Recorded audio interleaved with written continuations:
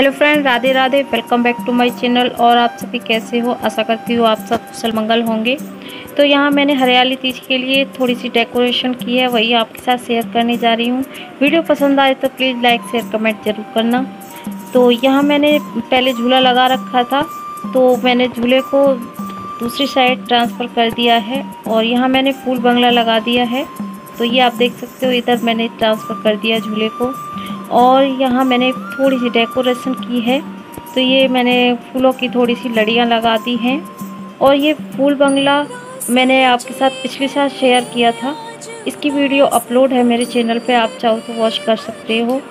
और यहाँ मैंने दोनों साइड से ये ग्रीन लुक देने के लिए ये थोड़ी सी लड़ियाँ लगा दी हैं। और ये फूल बंगला के आगे दो, मैंने दो दो पेड़ खड़े कर दिए, उस पर चिड़िया बैठी हुई हैं। और आगे मैंने दो हाथी बिठा रखे हैं और बीच में हमारे लड्डू गोपू वासु बैठ जाएँगे।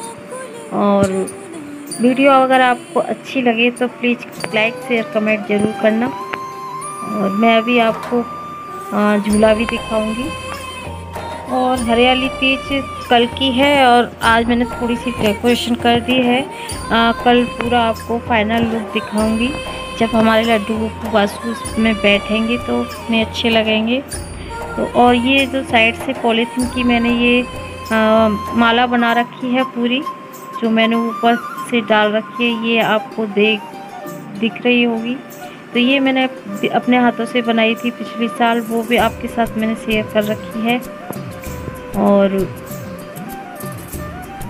ये पूरा इस तरह लग रहा है, मंदिर टाइप में लग रहा है पूरा ये।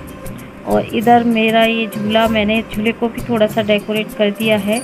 और वीडियो पसंद आए तो प्लीज़ लाइक शेयर कमेंट ज़रूर करना। मिलते हैं नेक्स्ट वीडियो में नेक्स्ट टॉपिक के साथ। तब तक के लिए राधे राधे